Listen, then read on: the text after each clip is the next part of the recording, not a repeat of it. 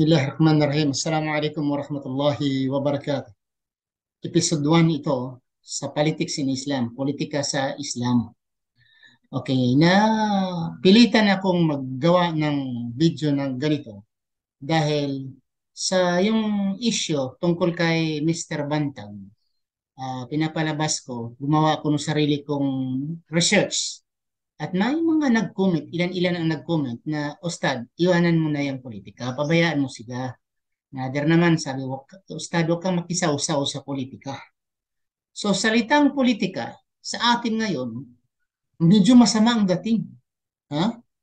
Pag mayroong ano, mayroong supposing, mayroong uh, example, religious organization.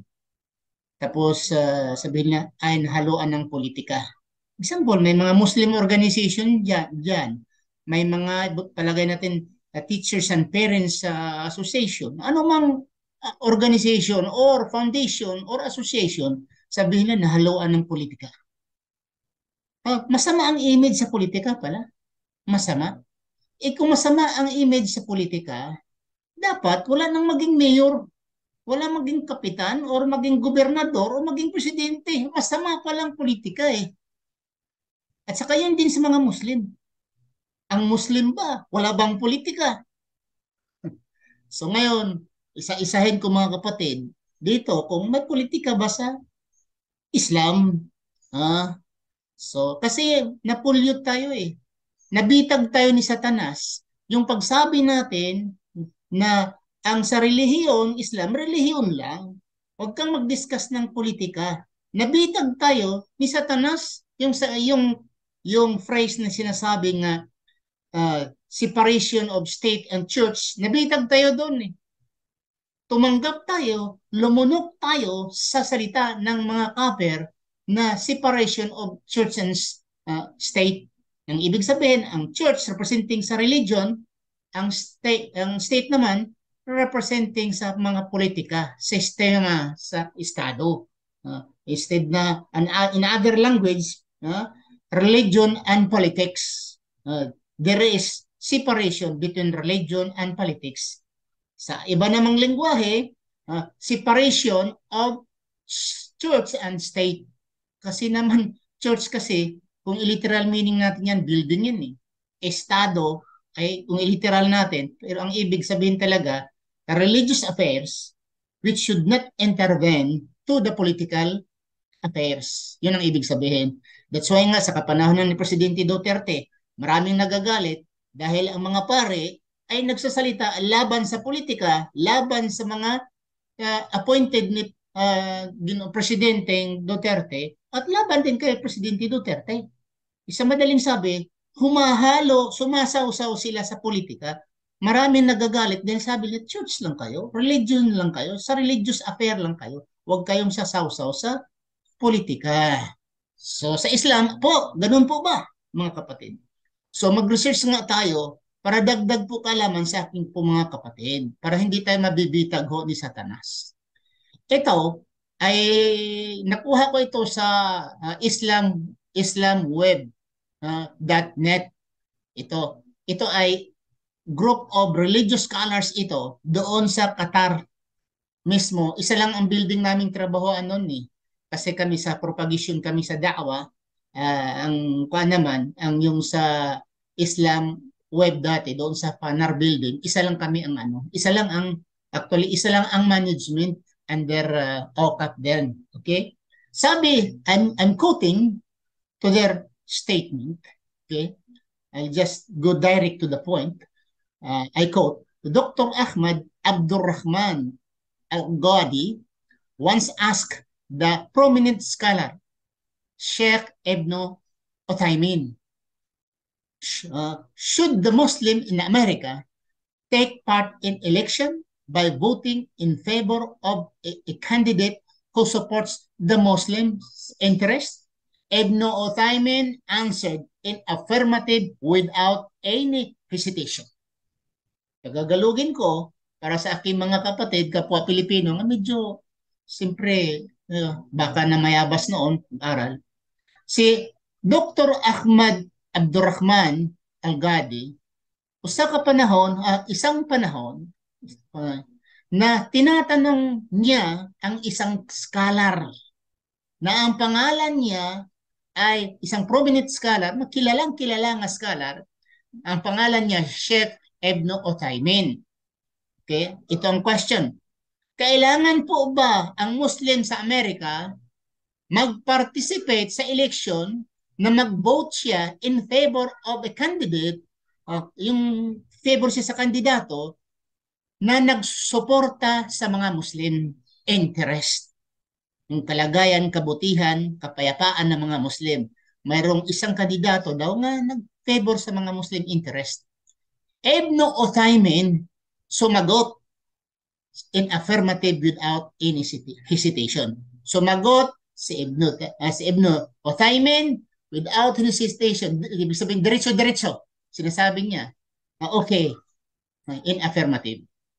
Dito naman, uh, dito naman sa Islam, question and answer.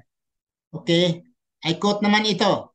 Uh, itong uh, Islam question and answer, actually, itong uh, itong organization na ito ay is an academic and educational da'wah website na ginawa ito para ibigay offer advice and academic answers based on evidence from religious texts in an adequate and easy to understand manner. These answers are supervised, uh, supervised by Sheikh Muhammad Saleh Al-Munazzib. Okay? Ito, ngayon, ang ito naman ang based on that siyasa is an in, in, indivisible. Sinasabi, based on that, siyasa, politics, is an indivisible part of Islam. Na ang politika daw is indivisible.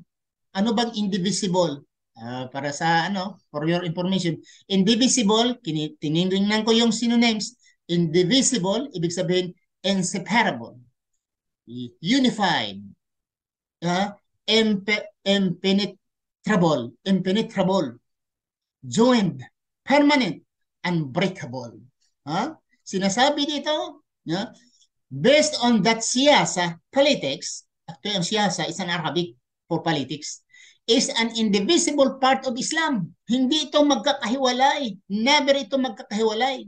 Uh, is indivisible part of Islam and there is no separation between siyasa, meaning politics, inside parenthesis pa dito eh, Ha? Meron pa silang inside parenthesis, siyasa, inside parenthesis politics, and dinol, really, or din is religion. Ano bang din? Dinol Islam. Na ang Islam at politika is indivisible, hindi magkakahiwalay. Ibig sabihin, mayroon tayong politika. Pero ang politika ba natin, kagaya ba ng politika sa demokrasya? Ay iba po. Iba po. Dahil ang demokrasya po ay sinasabi nga is democracy is a government of the people, by the people, and of for the people. Para sa ginawa sa tao, nilikha sa tao, para sa tao. Yan ang tinatawag na demokrasya. Pero ang Islam, iba, kay submission to the will of Allah. Pag, pagsunod sa kagustuhan ng Allah. Pero nangangahulugan po ba na wala tayong politika? Mayroon tayong politika. Okay. Okay. Makisawsaw po ba tayo? Pwede makisawsaw? Pwede. Sabi ng mga scholars, pwede ho. Ang Islam, dito, tingnan natin ha. Question. Mayroong question dito, ang uh, uh, dito sa Islam question and answer, may, may tanong dito. Did the Prophet, peace be and blessing upon him, uh, peace and uh, blessing and peace of Allah be upon him, have a political outlook, siyasa, on which he he based his ruling of people or on which he based on the running of the affairs of the of state. Okay, answer.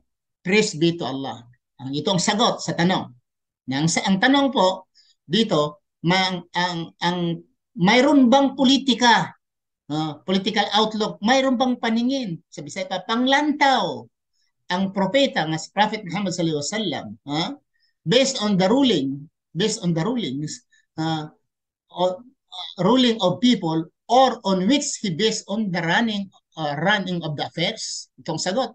Running of the affairs meaning uh, patakbuhin or uh, paano pakilusin, paggalawin ang affairs of the state. Affairs of the state, yung batas ng Estado. Dito ang sagot, praise be to Allah. The word siyasa, translated above as political outlook, came from the root sasa, in Arabic, sasa, meaning to become in charge and take care of something, which means looking after something in a manner that maintain, maintains its well-being. Okay? Ano pa? Hindi ito mabasa kung saan mabasa yan. Mama, inshallah, i-indicate ko, makita ninyo. Okay. Al-Bukhari 3455 and Muslim, Sahih Muslim 1842, narrated by Abu Huraira that the Prophet uh, uh, blessing and peace of Allah be upon him said, the children of Israel were ruled by the prophets. Okay. Every time one prophet died, another prophet would succeed him and quote sabi ng propeta, na ang nagdala pala, nagbigay ng batas, ha, ibig nagpatakbo sa mga tao sa kapanahonan nila, nila yung mga propeta nakaraan, ang nagpatakbo ay talaga ay ang propeta, of course, ang prophet from Allah, oh, guided by Allah. Ang Nawawi, kilala itong scholar, may Allah have mercy on him. Sabi niya, they were ruled by the by the prophets means the prophets took care of their affairs as rulers or who are in charge of people uh, do. The siyasa means to take care of something in a manner that maintains its well-being and serves its interest. Sinabi dito. Talaga, mayroon pala tayong siyasa, mayroon pala tayong politics. Dahil ang politika is something, is a manner to maintain its well-being and serves its interest to the society. O, mayroon tayong politika. Yung politika pala ay maganda ito para sa sa ano sa, sa eh, eh, dami dito mga kapatid. Ito ay binabasa ko ito, binabasa ko ito mga kapatid, para malaman ninyo sa mga taong nagsasabi diyan na ustad, iwanan mo yung politika, iwasan mo yung politika, daw ka na lang. Mga kapatid, ah, sa kapanahonan ng mga propeta, ay walang pagkakaiba sa politika at religion. Religion. Tandaan natin, huwag tayong pabiktima, huwag tayong magpabitag sa mga non-Muslim. Nga sabi nila, there is a separation between state and church. Sa Islam po, there is no separation between state and church. Pareho po. Kung ano ang batas sa society, yun din ang batas sa simbahan. Okay? Huwag kang magnakaw. Sabi sa batas ng uh, Estado, huwag ka rin magnakaw. Putulan ng kamay. Uh, sa Estado nga batas, putulan din ng kamay sa religious affairs. Walang pagkakaiba po sa batas ng Islam. Hindi po ito dapat ang batas ng Islam ay magkakaano, magkasalungat. Dahil ang batas ng Estado at batas sa relihiyon, isa lang ho, hindi nagkakahiwalay. Unlike the state, ay unlike the non-Muslim democratic system, I repeat, I repeat, there is a separation between the state and church. In Islam, no. Wala pong separation. Maraming salamat po sa inyong panonood. Kung kayo ay may mga katanungan, mag-comment lang po kayo. Inshallah, this is episode 1. Uh, inshallah, antayin ninyo ang episode 2 tungkol po sa Islam and politics. Maraming salamat sa inyong panonood. Subhanakallah Allahumma bihamdika. Asyhadu an la ilaha anta astaghfiruka wa atubu ilaik. Assalamualaikum warahmatullahi wabarakatuh.